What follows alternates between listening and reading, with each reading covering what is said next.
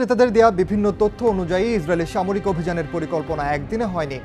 এমনকি কয়েক মাসও নয়, দীর্ঘ দুই বছরেরও বেশি সময় লেগেছে এই হামলার পরিকল্পনা করতে।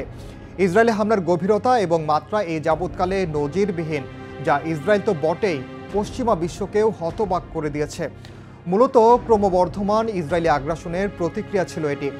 পবিত্র আলাক্সা মসজিদে ইসরায়েলি হামলা বন্ধ ও ইসরায়েলি কারাগারে বন্দি ফিলিস্তিনি রাজনৈতিক নেতাদের মুক্তির জন্য দর কষাকষি করতে এরই মধ্যে শতাধিক ইসরায়েলিকে জিম্মি করেছে হামাস।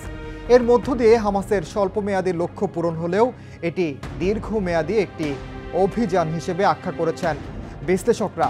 আর এ বিষয়ে আপনাদের জানাব আমি ওমরিনা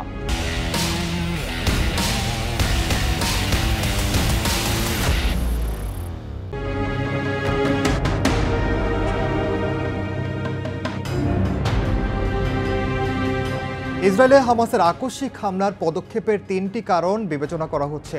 প্রথমত, অধিকৃত পশ্চিম তীর এবং জেরুজালেমে অবৈধ বসতি স্থাপনকারীদের উগ্র ডানপন্থী ইসরায়েলি সরকার যেভাবে আশকারা ও অনুমোদন দিচ্ছে, সে কারণে ফিলিস্তিনিদের মধ্যে হতাশার জন্ম দিয়েছে। একই সময়ে এই নীতির কারণে পশ্চিম তীরে ক্রমবর্ধমান অবৈধ স্থাপনা নির্মাণ বন্ধে ইসরায়েলি বাহিনীকে দক্ষিণ থেকে উত্তরে সরিয়ে নেয়ার প্রয়োজনীয়তা বোধ করছিল হামাস।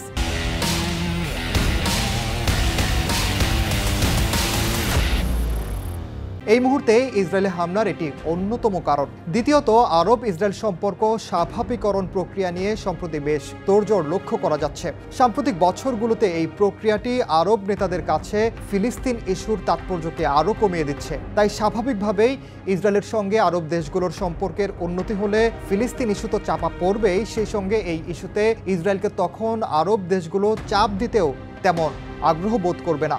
সবশেষ, সৌদি ইসরায়েল স্বাভাবিকরণ চুক্তি বাস্তবায়ন হলে ফিলিস্তিন ইস্যু একেবারে আর গুরুত্ব পেত না। এটিও ইসরায়েলে সাম্প্রতিক সময়ে হামলার অন্যতম আরেকটি কারণ। তৃতীয়ত, সিরিয়ার গৃহযুদ্ধ নিয়ে ইরানের সঙ্গে হামাসের সম্পর্ক তলানিতে ঠেকার পর আবারও তা ঠিক হয়। এরপর হামাস আরও শক্তিশালী ও সাহসী হয়ে ওঠে। হিজবুল্লার মহাসচিব হাসান নাসরাল্লাহ জানান, তিনি ব্যক্তিগতভাবে হামাস ও দামেস্কের মধ্যে সম্পর্ক উন্নয়নে কাজ করেছেন।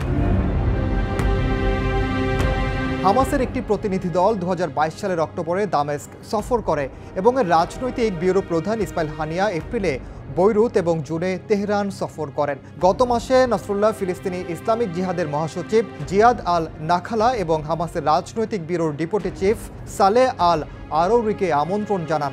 রাজনৈতিক এই দলগুলোর ঐক্যবদ্ধ সিদ্ধান্ত অনুযায়ী হামাসের এই অভিযান বলেও মনে করছেন আন্তর্জাতিক বিশ্লেষকরা। ইরান হামাসের অভিযানে সরাসরি জড়িত থাকার কথা অস্বীকার করলেও এর প্রতি সমর্থন জানিয়েছে। ইরানের ইসলামিক বিপ্লবী গার্ড বাহিনীর জেনারেল ইয়াহিয়া রহিম সাফাবি বলেন, ইরান এই অভিযানকে সমর্থন করে এবং তেহরান নিশ্চিত প্রতিরোধ ফ্রন্টও এই অভিযানকে সমর্থন করবে।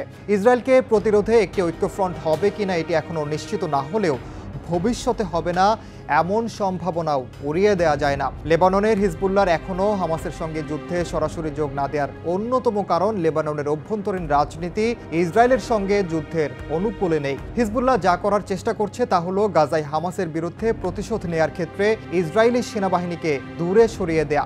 বলা যায় লেবাননের সীমান্তে চাপ বাড়াচ্ছে হিজবুল্লাহ। হামাসের আকস্মিক এবং অপ্রতিরোধ্য হামলার কয়েক দিনের মাথায় সংগঠনটির চূড়ান্ত পরিকল্পনা বা শেষ খেলা কি এটি এখনও স্পষ্ট নয়। ইসরায়েল প্রতিশোধ নিতে যেভাবে আগ্রাসী হয়ে উঠেছে, তা প্রতিরোধে এরই মধ্যে ইসরায়েলের সামরিক এবং বেসামরিক মানুষকে জিম্মি করেছে হামাস। ইসরায়েলের কারাগারে ফিলিস্তিনি বন্দীদের মুক্তির বিনিময়ে তাদের ছাড়া হতে পারে। আর এটাই আপাতত হামাসের অন্যতম পরিকল্পনা। তবে ইসরায়েলও বসে থাকবে এমনটা কিন্তু নয়। হামাসের মুখপাত্র আবু ওবায়দা জানান ইসরায়েলি বোমা হামলায় গাজায় আটক চার ইসরায়েলি নাগরিক নিহত হয়েছে। তিনি এও সতর্ক করেছেন। ইসরায়েল যদি কোনো সতর্কতা ছাড়াই গাজায় বেসামরিক মানুষের বাড়িতে হামলা চালায়, তাহলে জিম্মিদের হত্যা করতে শুরু করবে তারা। আবার এটির বাস্তবায়ন হলে হামাসের বিরুদ্ধে আরও জোরালো অভিযান শুরু করতে পারে ইসরায়েল। হামাস নেতৃত্ব বলছে, হামলার উদ্দেশ্য হলো ইসরায়েলি আগ্রাসন বন্ধ করা, ফিলিস্তিনি বন্দীদের মুক্তি নিশ্চিত করা এবং একটি রাষ্ট্র প্রতিষ্ঠার প্রকল্পে ফিরে আসা। হামাস ইসরায়েলের সঙ্গে বন্দি বিনিময় চুক্তি নিশ্চিত করতে সক্ষম হতে পারে। যদিও অতীতে ইসরায়েলি কারাগার থেকে মুক্তি পাওয়াদের মধ্যে অনেককে দ্রুত পুনরায় গ্রেফতার করা হয়। হামাসের হামলার ক্ষত কাটিয়ে ওঠার চেষ্টা করছে ইসরায়েল। গাজা উপত্যকায় বোমাবর্ষণ জোরদার করেছে ইসরায়েলি সেনারা। সেই সঙ্গে উপকূলীয় ছিটমহলে সম্পূর্ণ অবরোধ জারি করেছে তেল আবিব। বিদ্যুৎ বন্ধ করে দেওয়ার পাশাপাশি গাজায় মানবিক সহায়তা অবরুদ্ধ করে রেখেছে তারা।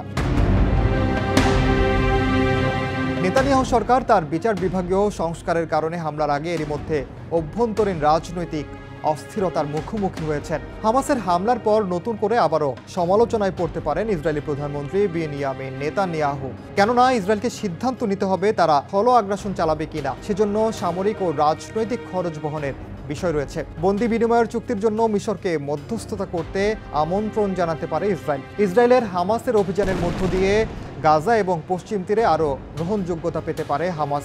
অন্যদিকে যুক্তরাষ্ট্র ইসরায়েলের সঙ্গে আরবদের সঙ্গে স্বাভাবিকরণ মধ্যস্থতা পরিকল্পনা আপাতত স্থগিত রাখতে পারে। মার্কিন পররাষ্ট্রমন্ত্রী অ্যান্টনি ব্লিংকেন এ মাসের শেষ দিকে ইসরায়েল এবং সৌদি আরবে স্বাভাবিকরণের বিষয়ে আলোচনা করবেন বলে আশা করা হয়েছিল, কিন্তু তার পরিকল্পনা পরিবর্তিত হয়েছে এবং এখন জর্ডান সফর অন্তর্ভুক্ত করেছেন ব্লিংকেন। গাজা ইসরায়েলি হামলার পর আরব বিশ্বের জনগণ স্বাভাবিকভাবেই ক্ষুব্ধ।